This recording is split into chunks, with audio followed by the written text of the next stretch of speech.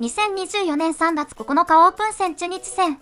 先発アドワ選手が4回途中まで無失点で高騰すると、シーズンを想定した系統で堀江選手がイニング途中から無失点の高騰、今季1軍初登板の野村選手が2失点も投手陣はそれ以上の失点を許さず、打線は初回に相手のミスもあり2点先制するもその後はチャンスを作れず4安打止まりで引き分け。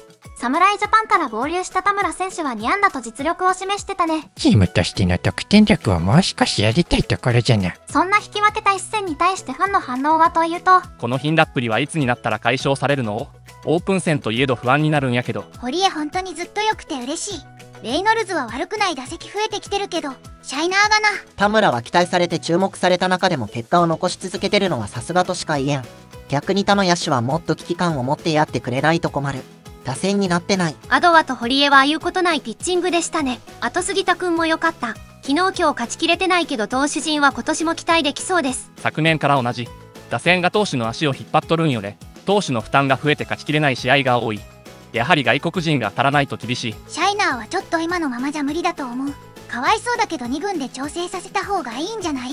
もっと上で経験積ませたい選手はたくさんいるよ。田村秋山はスタメン確定かな。